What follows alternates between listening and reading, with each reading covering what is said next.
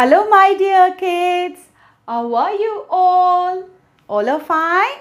I hope you all are fine and safe at home. I'm your teacher, Diana. Today is our maths class, and ma'am is going to teach you a new concept tall and short. In previous maths class, ma'am had taught you the concept big and small. And what is the next concept? Long and short. What is the one more concept? Heavy, light. For today, we are going to learn about tall, short. Tall, short. Tall and short is classified on the basis of their height. Now tell me, ma'am is tall or short compared to y'all? I am tall. When compared to ma'am, y'all are short. Tall, short. Okay, my dear kids, come on, let's move on to the lesson. Big and small, big and small, big, big, big, small, small, small, long and short, long and short, long and short, long, long, long, short, short, short, heavy and light, heavy and light, heavy, heavy, heavy, light, light, light.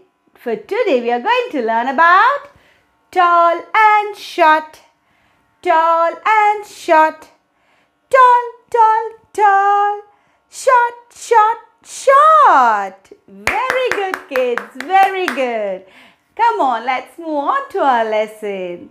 My dear kids, now I will show you a few examples for tall and short.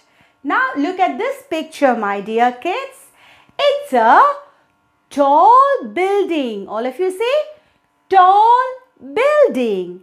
It's a tall building. Now look at this picture. It's a short building. Short building. Very good kids. Come on, let's see the next example. Now, my dear kids, look at the picture and tell me which is tall and which is short. Giraffe is tall. Very good. Giraffe is tall. The dog is short. Giraffe is tall. The dog is short. Very good, kids. Now let's move on to the next picture. Look at these two girls. This girl is tall. Tall, short. Come on, let's see the next picture. Tom and Jerry. Who's tall, my dear kids? You're all right. Tom is tall and Jerry is short. Tom is tall and Jerry is short. Okay, now look at this picture. Chhota Bheem. Who's next to Chhota Bheem? Who's next to Chhota Bheem? Dholu Bholu. Chhota Bheem is tall. Dholu Bholu are short. Chota Beam is tall. Dholu Bholu are short. Very good kids. Very good. Okay, now it's your turn to identify the objects which is tall and short. Are you all ready, my dear kids?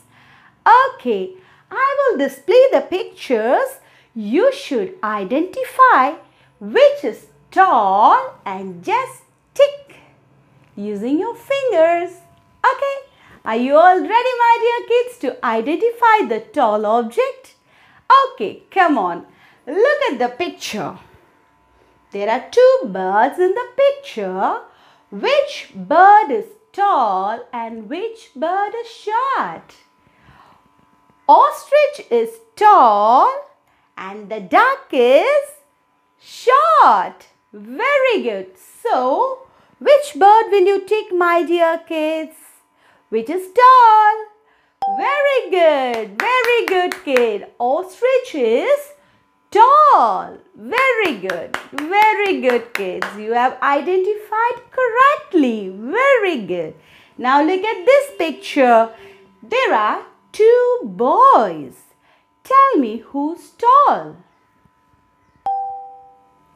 You're right. This boy is tall. Good, kids. Very good. Come on, let's identify the short ones. Are you all ready, my dear kids? Come on. Look at the picture and identify which is short. You're right, my dear kids. The tree is tall and the nearby bush is short. So, which is short? The bush is, compared to the tree, it is short. Very good, kids. Very good. So, the bush is short. Very good. So, now let's look at the next picture. Tell me which is short. There is a picture of a horse and sheep. Tell me which is short. You're right, my dear kids. You're right. Sheep is short. Sheep is short. Very good, kids. Very good. Okay, my dear kids. I hope you all would have learned the concept tall and short. Ma'am is going to give you an activity based on the tall and short.